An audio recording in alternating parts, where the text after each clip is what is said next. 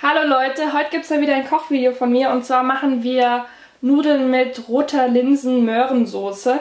Also mal wieder was ein bisschen, ich sag mal, halbwegs gesundes. Also die Nudeln sind natürlich eher so, ich sag mal, der Wohlfühlfaktor, weil ich esse einfach super gerne Pasta. Ihr könnt da weiße oder eben Vollkornpasta nehmen. Aber die Linsensoße ist ähm, ja dann die gesunde Komponente, weil rote Linsen sehr reich an verschiedenen Nährstoffen sind und Vitaminen. Und ähm, ich werde euch da was in die Infobox packen, wenn es euch das interessiert. Und ja, ich wünsche euch viel Spaß beim Video und ich liebe dieses Rezept. Das ist super lecker. Und los geht's!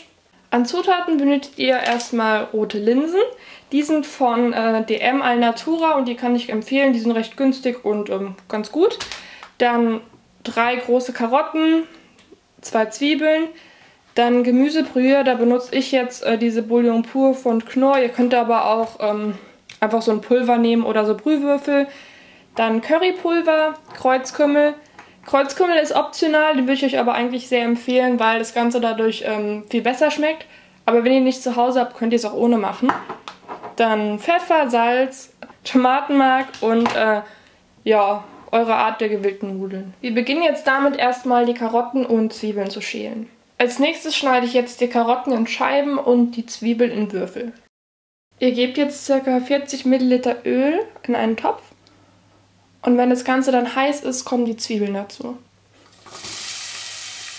Und darüber kommen jetzt 1,5 Teelöffel Currypulver.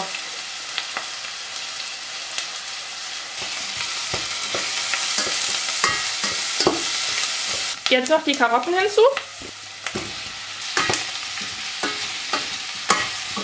Jetzt gebt ihr 700 ml Wasser hinzu. Euren Brühwürfel oder ja, bei mir dieses Bouillon pur oder halt, wie schon gesagt, so ein Pulver. Und Tomatenmark im Rezept steht 30 Milliliter, aber wir machen da einfach mal so ein bisschen was rein. So. Dann noch circa einen halben Teelöffel Pfeffer und einen Dreiviertel Teelöffel Salz. Das Ganze solltet ihr jetzt zum Kochen bringen und ungefähr 8 Minuten dann weiter auf der Herdplatte lassen und kochen. Dann gebt ihr 200 Gramm rote Linsen hinzu und lasst das Ganze jetzt noch ungefähr 17, 18 Minuten köcheln. In der Zeit könnt ihr jetzt auch schon mal die Nudeln machen, weil Nudeln brauchen ja ungefähr so, ich sag mal, bis das Wasser kocht. 5, 6 Minuten oder ein bisschen länger und dann nochmal 10 Minuten Nudelkochzeit. Also das wäre jetzt der Moment, äh, um mit den Nudeln anzufangen. Ich gebe jetzt noch den Kreuzkümmel hinzu, das ist ein halber Teelöffel. Habe ich vorhin einfach vergessen, aber ist nicht schlimm, weil die äh, Linsen das jetzt eh jetzt noch eine Weile kochen. Und da könnt ihr es auch einfach jetzt noch hinzugeben. Wichtig ist, dass ihr das Ganze in regelmäßigen Umständen umrührt oder am besten eigentlich die ganze Zeit daneben steht so ein bisschen und das Ganze rührt, damit die Linsen nicht am Boden festkleben. Das Wasser verdampft hier nämlich und ihr habt dann am Ende ja eher so eine eingedickte Soße und wenn ihr das einfach nur auf dem Herd stehen lasst, könnte das eben anbrennen. So sollte die Konsistenz dann nach dem Kochen aussehen. Wenn eure Linsen noch nicht äh, weich sind nach 18 Minuten, dann lasst ihr einfach noch ein bisschen länger drin und schaut, bis es eben so eine, ich sag mal, leicht äh, schleimige Konsistenz bekommt. Ich mache es jetzt so, dass ich ähm, nur ein paar Nudeln nehme.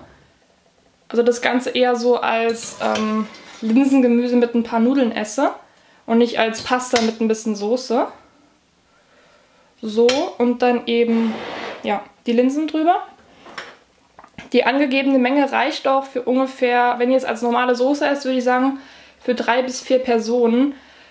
Ähm, ich mache aber immer die ganze Menge, weil ich mir das dann in den Kühlschrank packe und ähm, ja, das Ganze dann einfach morgen noch esse oder heute Abend dann zum Beispiel nur als Linsen und ähm, ja, fertig ist mein Gericht. Also ich würde mich natürlich wie immer über Kommentare und Bewertungen freuen. Ihr könnt ja mal schreiben, ob ihr es mal nachkochen wollt oder wenn ihr es dann nachgekocht habt, dann könnt ihr mir auch gerne schreiben, wie es euch geschmeckt hat oder mir auf Twitter oder so Bilder schicken. Also ja, ich freue mich auf euer Feedback und wir sehen uns dann beim nächsten Mal wieder. Tschüss!